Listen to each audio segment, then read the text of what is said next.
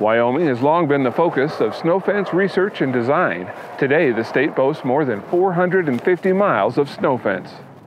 Angled, vertical, or even planted and grown, these structures act as a windbreak and capture blowing snow before it reaches the road, improving visibility and preventing roadway drifting and icing. If we can keep most of that off the road, then we can keep that snowpack down it's easier for our crews to get off the road, and it keeps the road safer and um, keeps, keeps our friction values up. This winter has been especially bad for blowing snow. In some areas without existing snow fence, WYDOT has been constructing snow traps. What you're doing is you're creating two ridges of snow. And as that snow blows over those ridges, it'll drop into that, that trench you just made. It's something that's helping us make it through that week. You know, ideally, we'd like to have something more permanent in place. WYDOT continues to add new snow fence in problem areas as a proven low-cost technique to reduce crashes and prevent road closures.